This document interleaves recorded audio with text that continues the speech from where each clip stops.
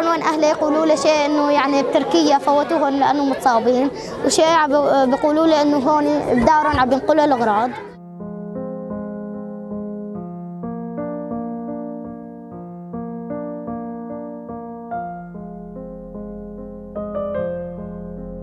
إجت بنت عمي قالت لي إنه أهلك توفوا بس لا تبكي.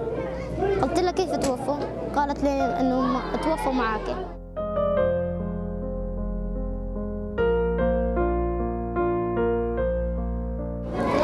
ما شفنا إلا إجا شو اسمه صاروخ. هيك إجا دب هيك شفت الهواء ما قام نحسن نتنفس. إيه، إجا هبط. إيه، أنا أنا ما بعرف هيك كيف إنه طلعت بس دفشت الحجرة. إيه، إجت هوني في من سافي الاجرين إجت هيك انقصت لحمي.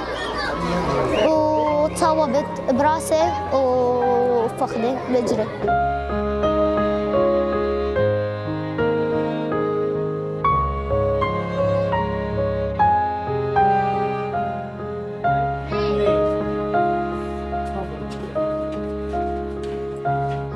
وأنا طالبة آه، بمدرسة الجولان هون.